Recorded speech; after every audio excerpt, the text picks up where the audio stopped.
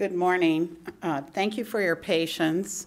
Um, We had some fire alarms going off at the city county building, but there's no emergency and everything's fine. So again, thank you for your patience. We're holding a second community briefing this week because our local situation continues to significantly improve, and we have some additional information we want to share with you. Providing interpretation for us today, again, is Margie Prop. Thank you, Margie, and thanks to everyone for joining us.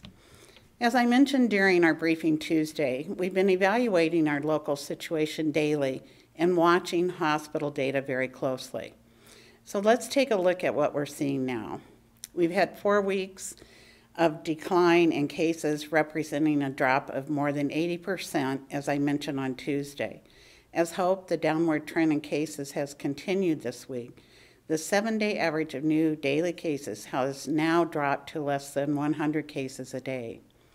On Tuesday, we reported that hospitalizations had decreased 47% since February 1st, and starting on February 11th, our hospitals had received less than 100 COVID 19 patients each day.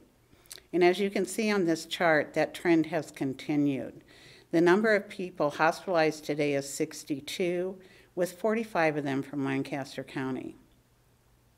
The strain on our hospitals caused by the Omicron surge has decreased significantly. Based on our community's current progress, we're now in a position where we can remove the local directed health measure early. The directed health measure will end at 11:59 p.m. tonight. The risk dial, however, remains in orange, and we continue to recommend that people wear a mask indoors. You can expect that when you go into a doctor's office or hospital, you'll be required to wear a mask. And if you use public transportation, you are required to wear a mask. We also strongly recommend that every person get vaccinated or boosted when eligible. COVID 19 vaccine is a powerful tool in preventing severe illness and saving lives. Our collective actions are helping our community come through this surge. Together, we've helped our hospitals preserve capacity, our schools keep classrooms open, and limited disruption to local businesses.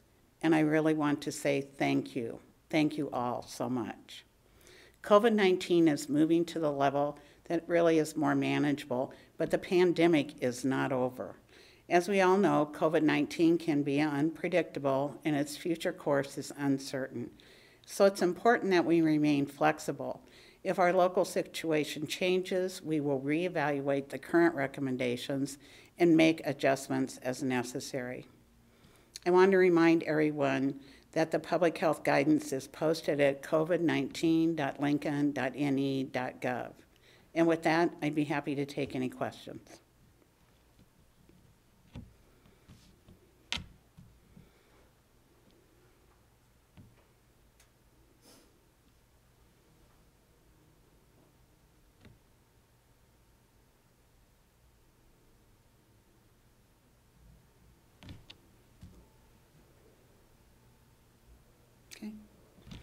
Thanks again for joining us today, and remember to get vaccinated and get your booster and wear your mask.